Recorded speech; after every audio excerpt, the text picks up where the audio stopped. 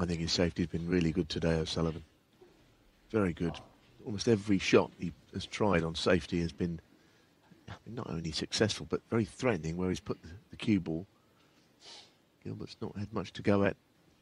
Very few mistakes. I think Davis played a big part in that as well, but Sullivan has tied him up quite a bit, what I can see.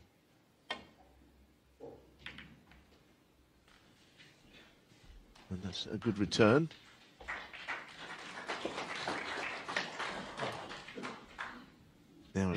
Has he forced Sullivan into a long one here, long pot?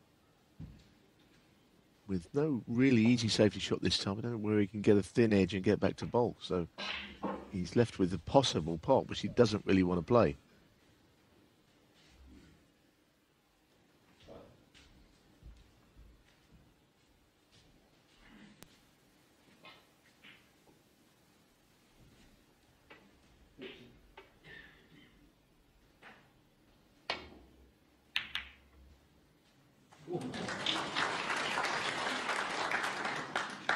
One.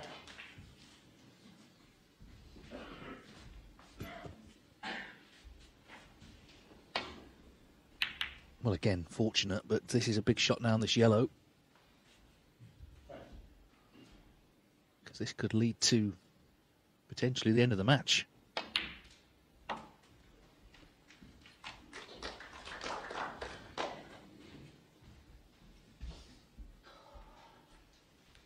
Three. I just think it's been a high standard match all the way.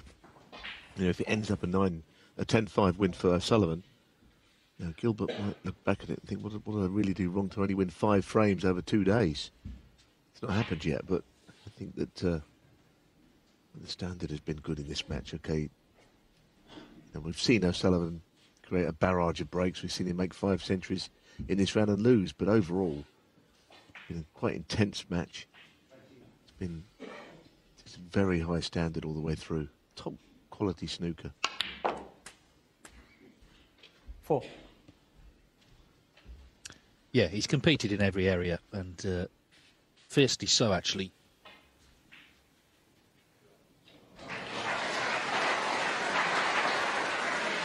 Gilbert would have played worse than this in one matches, I'm sure.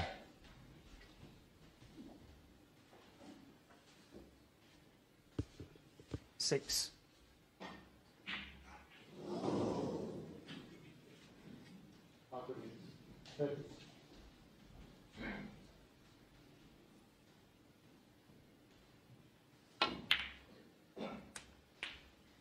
Seven.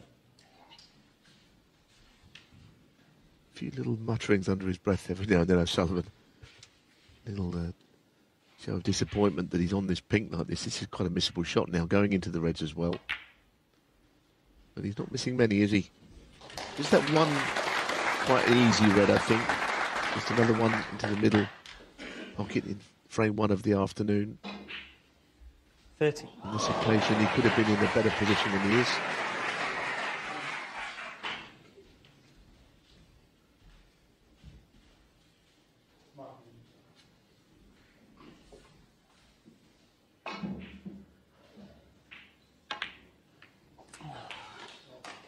Forty.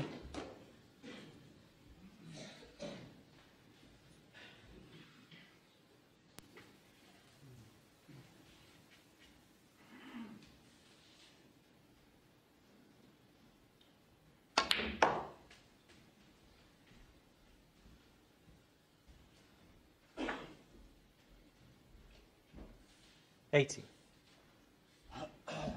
Now, I think he's just looking to see if the pink went.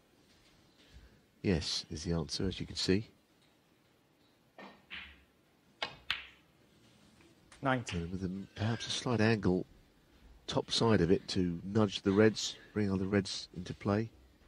Mightn't be quite straight enough for that. So he has to wait one for that to happen. Pink spot just about available, I think. Twenty-five. Now all of a sudden, everything's dried up a li- No, no, little if it's bit. not on, it's not on. leave it, leave it. Yeah, yeah, but I don't want No, but if it's not on, it's not on. got it wrong the first time. Leave it, it's okay. He said, leave it on. You might have got it wrong the first time, he said. Basically, what he just found out is that it doesn't go. And it went earlier. But I think Brendan wouldn't like that to be said about him, but I mean, it could be the ball's moved slightly. Who knows?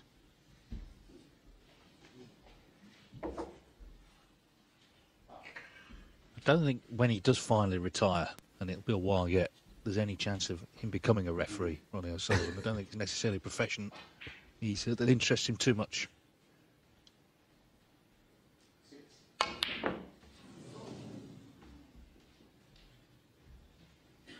Ronnie O'Sullivan, 26. Well, it's a bit of a scruffy old frame where the balls are now after that miss. I thought he was going to just find a way of conjuring up a break that takes him over the line in the match, but maybe his concentration went. He had a little, little chat with Brendan Moore.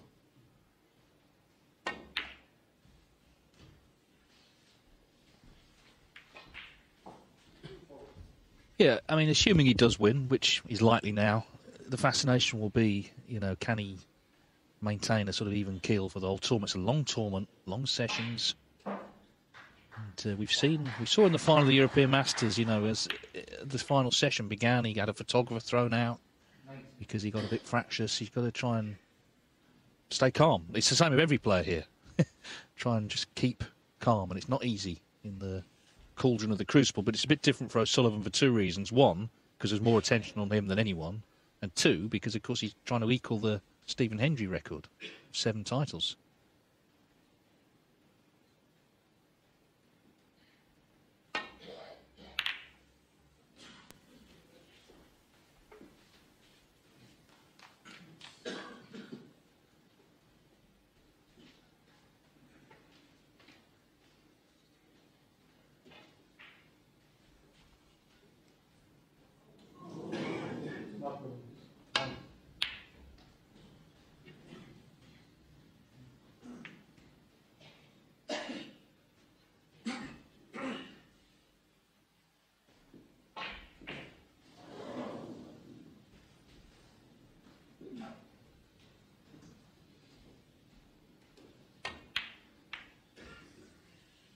He thought he'd get the green into play, which I think is a sensible move, and he's played a good safety shot, all things considered.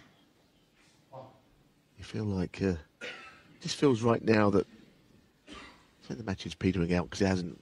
It's not done that at all. It's, this match is not over yet, but the Gilbert Challenge has come to a bit of a standstill, hasn't it? Yes, there's no doubt the pre-interval frame, frame 13, was huge, biggest of the match. Particularly the way it, it was resolved.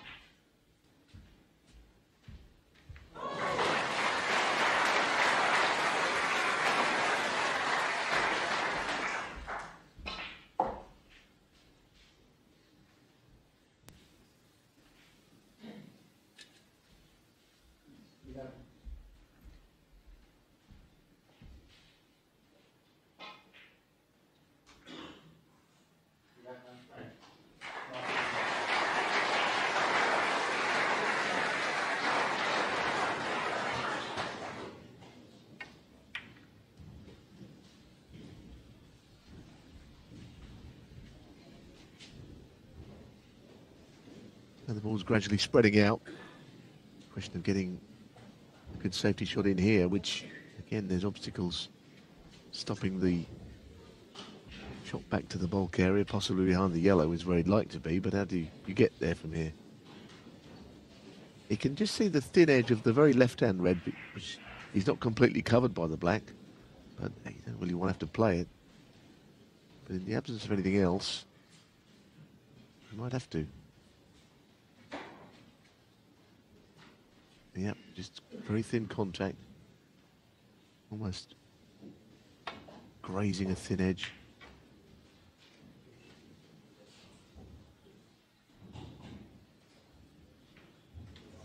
I mean, it's not gone absolutely as he meant, but it was still a great effort. Look what he's done. He's covered almost all the reds again here.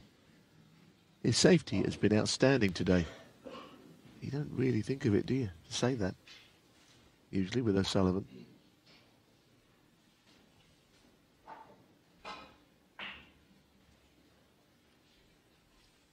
Gilbert's had a, a few chances, and he's taken them in the most part.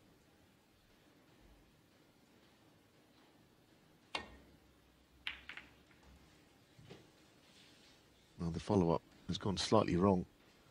Now he's left a red, so Sullivan won that little duel.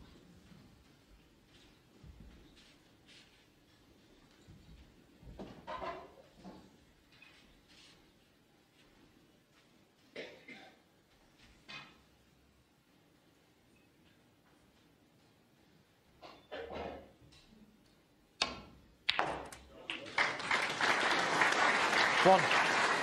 He won the duel, and he might be about to win the match because all of a sudden, where the balls are, it's very possible.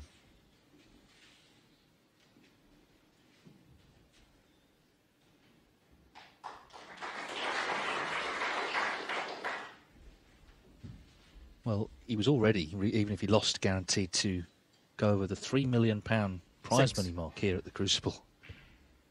So he's averaged 100 grand a year from the World Championship.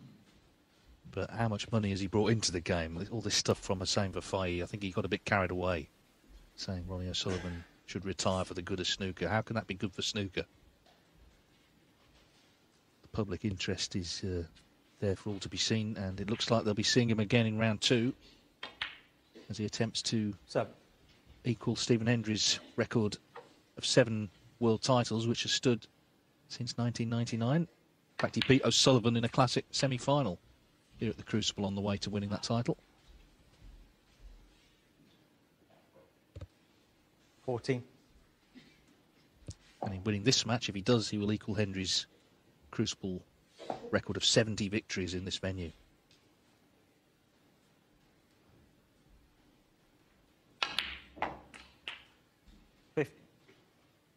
Well, that's uh, actually okay. For a second, I thought he was going to finish short of where he wanted to be.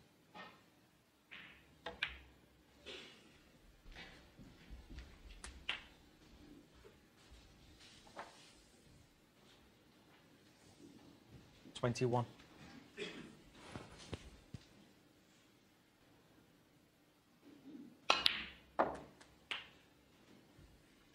Twenty-two.